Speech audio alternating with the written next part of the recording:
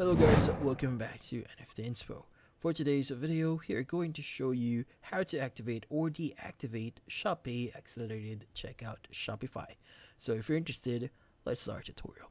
So the first thing you need to do here is you need to go to shopify.com, log in into your account, and access your store's admin page. Now from here, we need to go to our settings. So at the bottom left, go and click on settings. And from here, you need to go to the payment section. Now in this case, what you need to do is you need to click on the manage button or link at the top right of Shopify payments. So let's go ahead and click on it. Now from here, what we need to do is we need to access advanced settings. So let's go ahead and click on on advanced settings. And from here, look for the shop pay option. Now, what you need to do is you just need to click on the option that says uh, card rates apply or the option here that has a switch on it. In this case, just confirm that you want to deactivate it. Just click on deactivate shop pay and from here that should deactivate Shop Pay on your store. And that's about it. So hopefully this video was able to help you. Like and subscribe to NFT Inspo thank you for watching